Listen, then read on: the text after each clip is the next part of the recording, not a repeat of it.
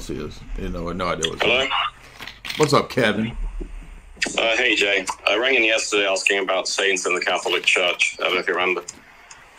Okay. Uh, yes, I won't, I won't go back to that uh, right now, but I mean, I just like to say that I'm not sure how, like, representative of the Eastern Orthodox view the idea that there is no grace whatsoever in the Catholic Church is, because I'm pretty sure that there would be Eastern Orthodox hierarchs, priests that would say that there are legitimate saints in the post-schism church. Well, that doesn't mean that they're correct because everybody can find people in every communion with. Um, I mean, I can go to James Martin who says that it's cool to be Skittles. Does that mean that it's true? So what? That's a fallacy.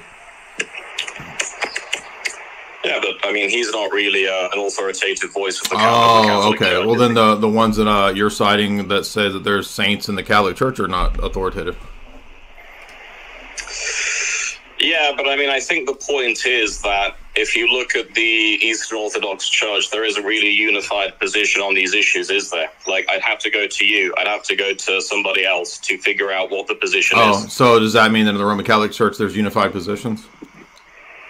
Sure. Oh, really? So what's the unified position on Nostra Aetate and Lumen Gentium 16? Lumen Gentium 16. Uh, I'd have to look it up, but are you referring to salvation outside of the uh, visible confines of the Catholic Well, uh, Church? the idea that Muslims, Jews, and Christians all worship the same God. Depending on how you interpret it, that's correct, yes. Ah, interesting. So does Jesus interpret it that way when he's arguing with the uh, Unitarian Pharisees in John 5 to 9? Well, I mean, in that case, Jesus is trying to hammer home the point that he is the Son of God and that they don't know him because how blind they are to the Oh, truth. but that doesn't apply to Unitarian Muslims, right? But I mean, if you bear in mind that they that they believe in the God that appeared to Abraham, But they don't. not the Trinitarian God. But Yeah, but the only God that appeared to God- Abraham is the Trinitarian God. You don't understand that? Yeah, I do understand that, but we know that as Christians. How are they supposed to know that as Muslims? It doesn't matter. How are they supposed to know that as Jews? The Pharisees.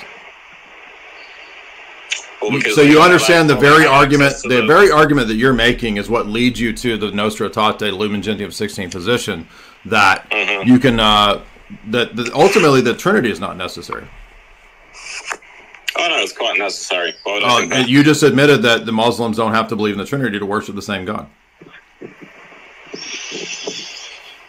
I would uh, I would draw the analogy of the man who's shooting an arrow and the arrow just misses the mark. How come I Jesus didn't draw that analogy to the- the How come Jesus Sorry? didn't draw that analogy to the Unitarian Pharisees? well because Jesus was quite um, I suppose he was quite uh, radical in his approach. I mean, he wasn't going to. Uh, Oh, so there we go. That's the uh, like so that so Jesus way. is a radical, but the Roman Catholic Church is smarter and more tempered than the radical Jesus. Well, I mean, Jesus was God. I mean, Jesus can use the approach that he wants. I mean, I just don't know. If Okay, so the Roman Catholic Church doesn't have to follow using- Jesus' approach, right? This is what this is what you have to go to to make the stupid system work. No, I didn't say that, Jay. What are you talking about? What?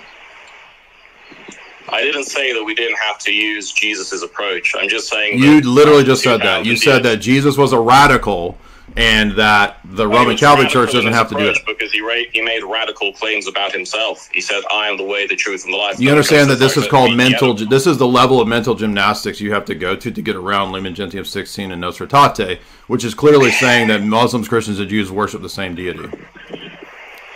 Not in the same way. It doesn't matter if it's in the same way. None of that matters. Yeah, but we need to be nuanced in the way in which we read this. We, we can't just Which is called face value, like, reinterpreting and called mental gymnastics, because this is the basis for why the Pope goes and prays in the synagogues and in the and in the mosque towards Mecca. Do you think that you can pray towards Mecca in a mosque? Okay, well then, why did Patriarch Kirill meet with uh, meet with Muslims you, as well? Why did I? Oh, oh, so that's a tu tu quoque. Can you pray in a mosque towards Mecca? Sure, to foster goodwill amongst the religions. Yeah, Really? yeah. You can pray in a mosque towards Mecca, according to this Roman Catholic. You hear that, everybody? Wait, me, me or the Pope? Oh, so the Pope can do it, but you like this whole religion is so retarded that you literally No, are saying really, that it's uh, you literally said that so the Pope can do it, but you're not supposed to. Well, no, because I don't represent the religion. The Pope does represent the Yes, religion. Yes, you do. You, you're bound by the same canons and restrictions as the Pope. What are you talking about? I'm not a member of the church hierarchy. Yeah, so, so anybody, you understand the canon law applies to you? How does what happens to a, a normal Roman Catholic if they procure an abortion? Excommunication, I believe. So you literally just denied that by saying that it doesn't apply to you, if uh, if it, but it only applies to the Pope. So the canon. No, no, I'm saying that it's unwise for lay Catholics. No, now it's unwise. Now you've changed it from unwise. Now you're saying unwise, and you said, but before you, it wasn't unwise. You say you're contradicting yourself. No, not really. I think I'm, I'm quite clear what I'm saying. That the Pope can use his judgment to decide whether or not he's going to participate in certain ecumenical meetings. Uh, did But I don't think it's a good idea for. Sorry. What what is what does Mortalium Animos say about any participation in those meetings? Ah, but you see, I don't think that Mortalium Animos is binding on the rest of the church Oh, for eternity. mhm, yeah. I mean, so your position literally can change. So in the in 1928, it's apostasy to do that, but post Vatican II, it's okay. Well, you need to bear in mind that the church is living. The church is. Yeah, so it can contradict. Yeah, so your position, yeah, that's what it means to be living. Is that you can literally contradict from one day to the next. Correct. Yeah, good job, dude. There you go. That is Roman Catholicism to a T. I want everybody to notice that, clip that. That's what you get with Roman Catholicism. So it starts with I just want to prove that there's Catholic saints and Orthodox saints, and that we all have the same saints. Then it turns into it's not uh, bad for the Pope to go pray in synagogues and mosques towards Mecca, even though the ancient canons say you're excommunicated. And he says, Well, I'm not the Pope.